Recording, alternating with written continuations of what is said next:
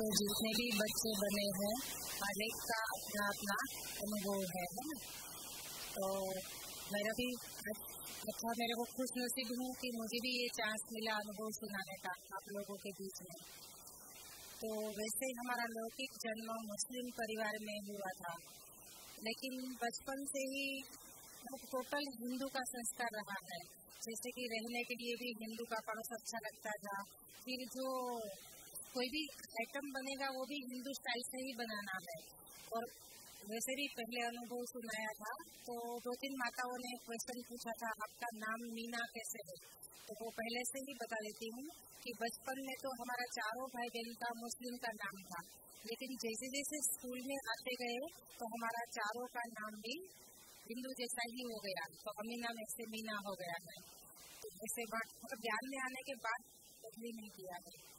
तो इस प्रकार से एक दिन पिताजी वैसे हमको रामायण सुनना महाभारत सुनना अच्छा लगता था कभी कभी हम छिपके से भी सुनते थे क्योंकि समाज वालों को पता पड़ेगा तो अच्छा नहीं लगेगा तो वैसे एक दिन पिताजी को ब्रह्मा कुमारी आश्रम में गए तो परमात्मा का परिचय दिया बहनों ने कि यही भगवान कहो, अल्लाह कहो, खुद सृष्टि पर आए हुए हैं। तो वो शब्द सुन के ही पिताजी को इतना अच्छा लगा कि अगर खुद खुदा सृष्टि पर आए हैं तो मुझे और कुछ नहीं चाहिए। ऐसे फिर जो जंगल में बाबा का परिचय दिया तो मतलब इतना कुदरती बाबा बोलते ना कि संस्कार देवी देवता धर्म का होगा। तो हमको एक भी बात में डाउट नहीं लगा। कि अभी तक हम जो पढ़ रहे थे उसमें तो ऐसा सुनते थे और यहाँ तो ऐसा सुनाते हैं लेकिन जो सुनते गए तुरंत उसका निश्चय होता गया कि भगवान कहो खुदा कहो यही है और वो सृष्टि पर आ गए हैं तो पिताजी ने आके हमको बताया कि ऐसे ऐसे मेरे को तो ज्ञान सुनना है कोई बहने ज्ञान सुनाती है तो बोले आपको भी आना हो तो आ सकते हैं तो हमने बोला हमको भी आना है अगर आपको अच्छा लगा तो हम भी सुन के देखते हैं तो ऐसे करके फिर धीरे धीरे वहाँ ज्ञान में जाना शुरू किया लेकिन हुआ था क्या कि यहाँ जो मुरली का टाइम होता था साढ़े सात बजे का वही मस्जिद में नमाज़ का भी टाइम होता था तो उन लोगों को लगा कि ये लोग मस्जिद में तो नहीं आते हैं और घर पे तो लोग होता है? तो कहाँ जाते हैं? तो हमारे पीछे इंक्वायरी शुरू की हमने भी एक तो, थोड़े दिन तो बहाना शुरू कर दिया बनाना कि कभी कोई का बर्थडे है या तो मैरिज है या तो यही है लेकिन तो उस रीति से हमारे पीछे शुरू कर दिया। लेकिन होता क्या था कि जिस समय वो हमको ढूँढने आते थे ना, उस समय हमारा टाइम चेंज हो जाता था।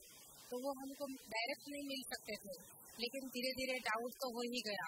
क्योंकि जो जैसे जैसे सुनते गए, उसी समय हमारी खान पान की शुद्धि भी होने लगी। यहाँ तक कि हमारे घर में प्याज भी पड़ा था, पिताजी ने दे दिया। बोले कि अगर मेरे एक सोचूँगा कि बाद में ये छोड़ूँगा और विचार बदल गया तो। इसलिए उसी दिन ही सारा कर दिया और खान पान की शुद्धि हो गई तो समाज वालों ने फिर विरोध शुरू कर दिया। हमारे रिश्तेदार में से हमारे रिश्तेदार में से मदर के तरफ़ से या फादर के तरफ़ से सारे रिलेटिव ने आना जाना टोटल बंद कर दिया और भी टोंटिंग शुरू कर दिया कि ये लोग तो हिंदू धर्म में चले गए और कभी कभी तो ये भी याद है कि हमारे रिलेटिव ने इतना बातें फैला दी कि इनकी बच्चियों को तो सादगी बना दिया है। तो कई रिलेटिव हमारे घर पे इसलिए मिलने के लिए आते थे कि वो हमको देखना चाहते थे कि सादगी बन गए हैं लेकिन आते थे तो कोई फ़र्क नहीं दिखाई देता था। तो इस प्रकार से और पिताजी को क्या होता था। जब भी कोई विघ्न आने वाला होता था तो कान में मुरली बजना शुरू हो जाती थी और वो हमको बता रहे थे कि कोई ना कोई समस्या आने वाली है तो एक बार क्या हुआ कि समाज वालों ने मिलकर प्लान किया कि ये लोग वैसे भी हमारे मस्जिद में आते नहीं है फिर कोई प्रसंग होता है खाना पीना वगैरह को मिक्स होते नहीं है अब इसको हम नाक बार कर देते हैं तो उस समय पिताजी को बहुत मुरली बजने शुरू हुई और बता दिया हमको कि कोई ना कोई बड़ा विघ्न आने वाला है तो हम लोग तो बाबा को याद करने बैठ गए। क्योंकि ये तो नहीं पता था कि क्या विघ्न आने वाला है। तो हुआ क्या कि जो मेन व्यक्ति थे, हमारे समाज बार रखने का प्लान कर रहे थे, उसमें से एक व्यक्ति था, उसको पैरालिसिस हो गया बीपी के कारण। तो वो अपने में बिज़ी हो गए। फिर दूसरा व्यक्ति था उसकी बेटी का कुछ मतलब चली गई तो बदनाम हो गए तो वो उसमें बिज़ी हो गए तीसरा व्यक्ति था उसको जो बेटा था वो एक्सीडेंट में शरीर छोड़ दिया तो हमारा जो समाज बार रखने का प्रोग्राम था थर्टी थ्री ईयर हो गया आज तक हो गया तो मतलब समस्या तो आती थी लेकिन क्या होता था, हम बाबा को छोड़ देते थे कि, बाबा, तेरे को ही इसका सोल्यूशन करना है।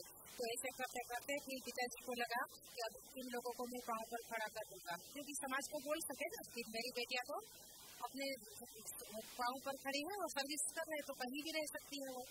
लेकिन हुआ क्या? समाज वालों को ये पता पड़ा कि इनको नर्सिंग का कोर्स करना है तो हमको पहले चांस दिया।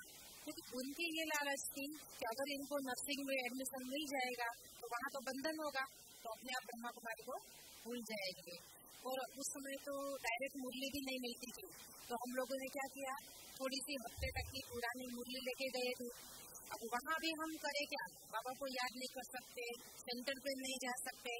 और वहाँ मुस्लिम और क्रिश्चियन की बहने ही नर्सिंग कर रही थी तो एक में नर्सिंग किया बोले तो वहाँ नॉनवेज का भी यूज़ होता था खाने में वो हमको पता पड़ा तो थोड़े दिन तो हम लोगों ने क्या किया कि सब्ज़ी और दाल होती थी वो फेंक देते थे और अपने घर से जो आचार वगैरह कुछ लेके गए होते थे वो रोटी के साथ खा के चला लेते थे लेकिन कब तक चलेगा फिर वहाँ की जो सिस्टर होम सिस्टर थी उनको पता पड़ा तो उन्होंने फिर हमको डांटा बोले ऐसा कब तक चलेगा और हमने ट्राई की थी समझाने की, लेकिन बोले, यहाँ तो हॉस्टल में जो नियम है वो तो आपको फॉलो करना ही पड़ेगा।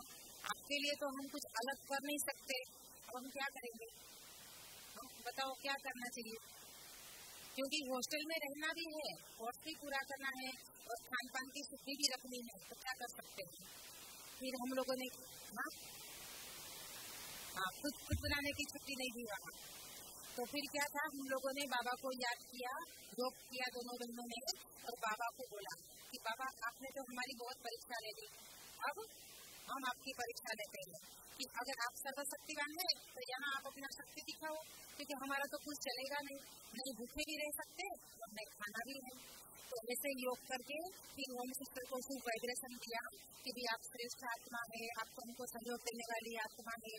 ऐसा वाइब्रेशन देके फिर सुबह में समझाया कि देखो, हम लोग इसलिए नहीं खाते हैं कि हमारी तबीयत को सूट नहीं करता। और बीमार होंगे तो आपको ही रात को हॉस्पिटल ले जाना पड़ेगा।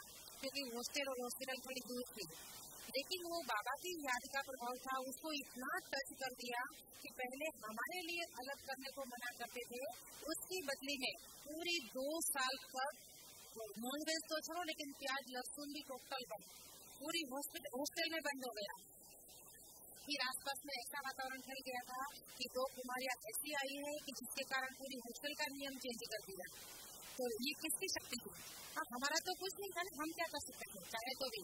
लेकिन हमने बाबा के ऊपर छोड़ा तो बाबा ने उसका रास्ता निकाल दिया। तो, तो अनुभव का सार यही है कि परिस्थिति तो आती है। बाबा बोलते ना कि सोने की कसौटी होगी पित्तल की कसौटी तो नहीं होगी। तो परीक्षा तो आती है, लेकिन बाबाओं को छोड़ते हैं तो बाबा ऐसा रास्ता निकाल देते हैं कि असंभव भी संभव हो जाता है। ऐसे ही फिर सर्विस मिली, वो भी मुस्लिम संस्था में, क्योंकि हमारा गोल्ड था ट्रेनिंग नर्सिंग भी उन्होंने करवाई थी तो वहाँ भी इतना ही बंदा। और ये हॉस्टल में हम लोग मुरली है ना, बैग में ताला मार के रखते थे, और सभी सोए होते हैं तो टॉर्च की लाइट जला के पतरे की बैग आती थी ना मुरली पढ़ लेते थे फिर योग कैसे करेंगे? क्योंकि सभी बहनों को पता पड़ जाएगा तो बोलेंगे ना तो अभी तक ब्रह्मा कुमारी को भूले नहीं हो। तो वही बाबा के नाम का एक चित्र सिंपल बना के, दीवार में लगा के, यहाँ तक कंबल ओढ़ के ताकि हमारे आँख दूसरे को देखे नहीं, कि किसको याद कर रहे ऐसे करके बाबा को याद करते थे और आठ दस दिन तो सेंटर का एड्रेस ही पता नहीं था। इतना मतलब तड़प होती थी, रोना आता था कि हम बाबा को कैसे, बाबा के घर में कैसे जाएँगे हम? फिर धीरे धीरे बाबा का परिचय कैसे एड्रेस मिला भी कहानी है लेकिन अभी तो टाइम की लिमिट है तो ज़्यादा नहीं बताती हूँ उसके बाद फिर सतीश मुस्लिम समाज में मिली वहाँ भी इतना बंधन छोटे गाँव में सर्विस थी वहाँ से बड़ा सिटी दूर था वहाँ हफ़्ते में एक बार जाते थे उस अनुसार हम मुरली सुन के और बाबा को योग करके आ जाते थे और घर में रख रखा था कास्केट लेकिन याद करके फिर कास्केट को कहीं साइड में रख देते थे तो फिर मेरे को धीरे धीरे पता पड़ा एक बार मेडिकल विंग की मीटिंग थी तो बनारसी मेरे को रोना आ गया सबके बीच में कि आप अगर मेरे को विंग का लेटर भी भेजेंगे तो मुझे सर्विस से निकाल देंगे तो इसीलिए तो बनारसी भाई ने बोला अगर इतना बंधन है तो वैसे भी ग्लोबल हॉस्पिटल में हमें तो अपनी बहनों की ज़रूरत है कि आप इधर ही आ जाओ और मुझे भी लगा कि अरे इतना बाबा के घर में अगर चांस है तो मुझे और कुछ चाहिए ही नहीं क्योंकि सर्विस तो वैसे निमित मात्र ही गए थे हम लोग तो ऐसा करके फिर ग्लोबल हॉस्पिटल में हम लोग पच्चीस साल से आ गए तो मेरे पहले आ गई और फिर तीन महीने के बाद मेरी दूसरी सिस्टर थी वो भी मेरे जैसे ही बंधन में उतर रही थी सौराष्ट्र में फिर धीरे धीरे उनको भी बुला दिया तो अभी वो ट्रोमा सेंटर में सेवा करे और मेरा नर्सिंग में सुपरवाइजर में माउंट आबू ऊपर में मेरी सेवा है तो इस रीति से बाबा परिस्थिति भी इतनी आई लेकिन बाबा ने मदद भी इतनी की अभी आज के दिन तक हमारा कोई रिलेटिव के साथ कनेक्शन नहीं है चाहे मदर के साइड का या फादर बोलने का भी संबंध नहीं है लेकिन हमारा सर्व संबंधी एक बाबा है तो हमको ये फीलिंग भी नहीं है कि हमारा संबंधी कोई नहीं क्योंकि वैसे भी पता है कि कलयुग में ये संबंधी तो सारे स्वार्थ के है वो दुख देने वाले हैं और बाबा अनुभव करा रहा इसलिए हमको फीलिंग भी नहीं है कि हमारा कोई संबंधी आता जाता नहीं है सर तो इस रीति से बाबा ने ही इतना मदद की राज तक बाबा की मदद से ही आगे बढ़ रहे हैं और मेरे लिए भी मेरे लिए भी खुशी की बात है कि आप सब लोगों के बीच में मुझे भी यहाँ आने का मौका मिला और सब लोगों से परिचय हुआ